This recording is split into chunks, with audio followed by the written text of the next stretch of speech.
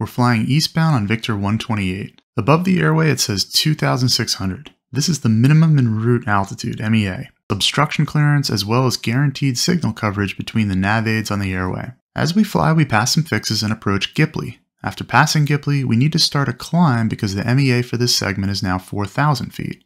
We'll stay there until the York VOR, at which point the MEA goes down and we can descend down to 3,300. There's another altitude next to the asterisk, 2,300, which is minimum obstruction clearance altitude, MOCA. It gives us obstacle clearance but only guarantees signal coverage within 22 miles of either nav navaid.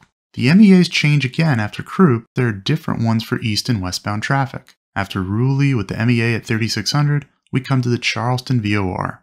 The flag symbol with an X means there's a minimum crossing altitude. We need to climb early so that we cross Charleston at 8,500 feet, continuing the climb to the next MEA, 13,000 feet. Like and follow Flight Insight for more.